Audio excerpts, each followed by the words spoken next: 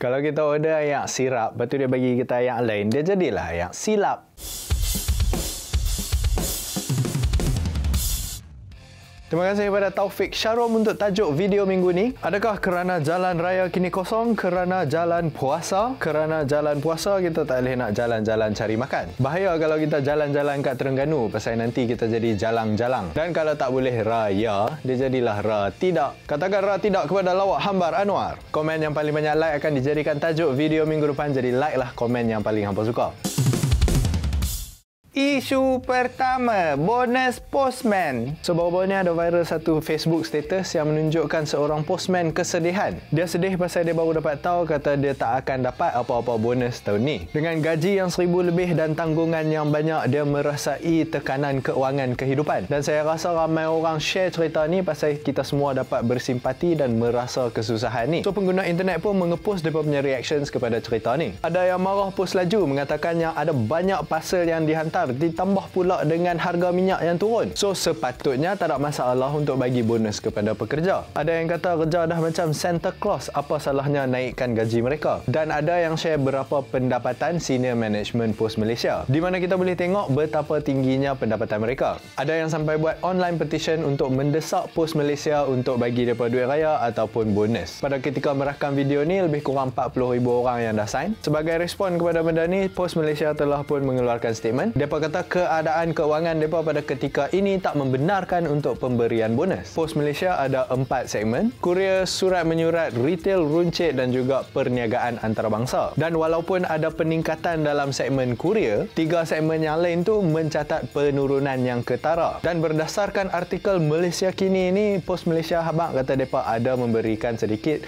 bantuan raya untuk pekerja mereka. Apa pendapat anda pula? Adakah Post Malaysia patut menyumbang sedikit pendapatan pesanan senior management mereka kepada pekerja-pekerja mereka ke adakah tindakan tu tak adil kepada senior management mereka? Uh, eh, Encik, memang tanya, uh, dekat sini boleh post apa eh? Oh, kat sini nak post apa-apa pun boleh. Barang, surat, apa pun tak apa. Ha, kalau macam tu, saya nak post status Facebook ni. Ha, stamp kena beli berapa ringgit eh? Isu kedua, raya COVID. So minggu depan dah nak raya dah kita ni. Akan tetapi raya tak boleh nak jalan seperti biasa pasal kita masih lagi di dalam PKPB. So Majlis Keselamatan Negara dah pun mengeluarkan guideline yang sepatutnya kita ikut untuk menyambut Aidilfitri dan tidak boleh melebihi 20 orang pada satu hari. Akan tetapi bila ditanya tentang had 20 orang tu kepada pengarah Kementerian Kesihatan Malaysia, just forget about the number.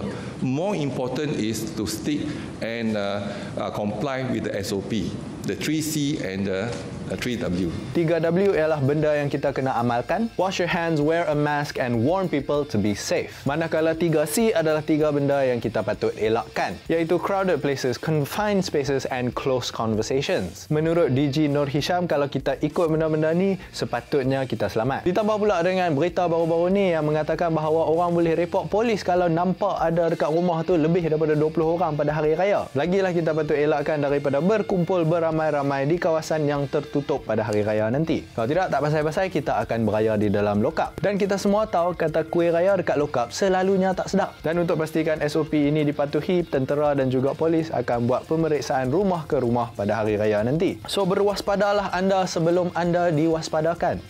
Alamak, macam mana nak pergi beraya ni? Awak, awak tak boleh pergi beraya pula?